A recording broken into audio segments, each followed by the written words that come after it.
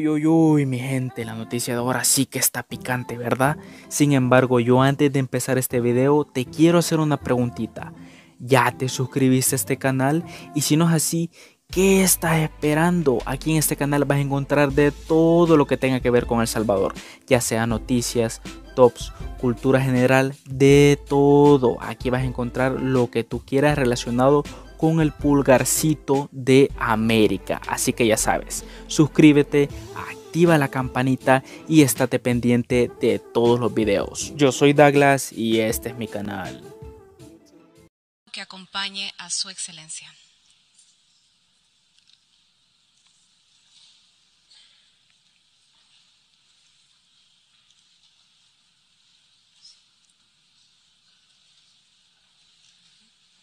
En nombre de la Asamblea General, tengo el honor de dar la bienvenida a Naciones Unidas al excelentísimo señor Nayib Armando Bukele, presidente de la República de El Salvador, y de invitarlo a dirigirse a esta Asamblea.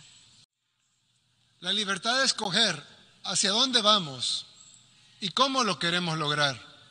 La libertad de definir nuestro camino como seres humanos.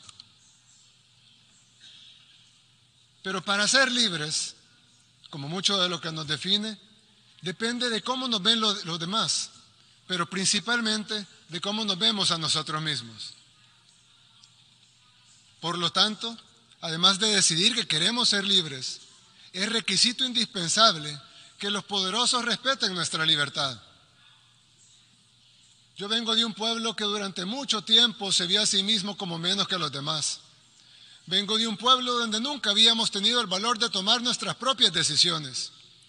Vengo de un pueblo donde nuestro destino siempre fue controlado por otros.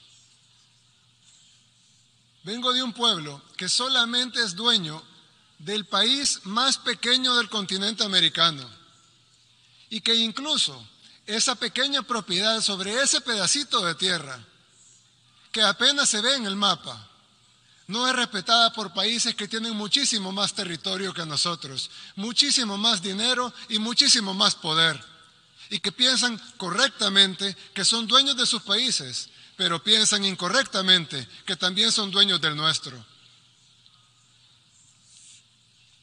Y es que un grupo de países poderosos no solo tienen mucho más que todos los demás, sino que también creen que son los dueños de lo poco que tenemos los países que no somos poderosos.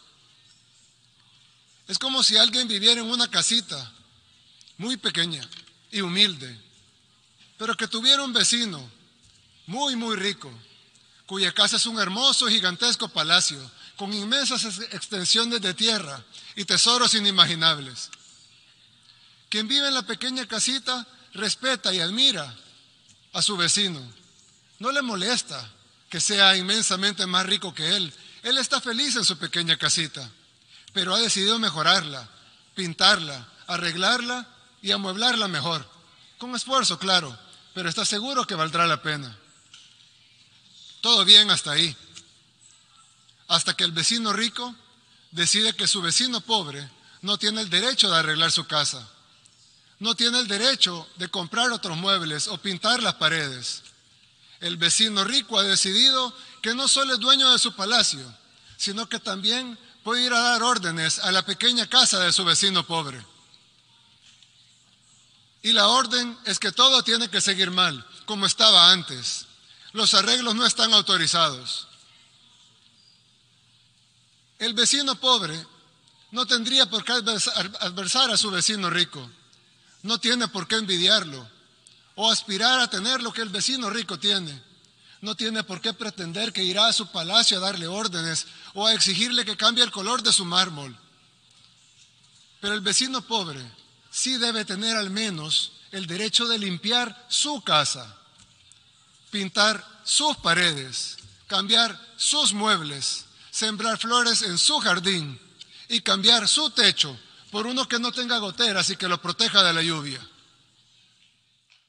Bueno, bueno, bueno, ya que estás aquí, simplemente te voy a pedir dos cositas antes de que te vayas. Primero que nada, dale like allá abajo. Segundo, compartí este video, ya sea en Messenger, en WhatsApp, en Facebook, en donde tú quieras. Al hacerlo me estás ayudando a mí a que siga dedicándome a subir contenido a este canal y así haces más viral mis videos y llegan a muchas más personas que les puede interesar este tema. No olvides suscribirte si no lo has hecho.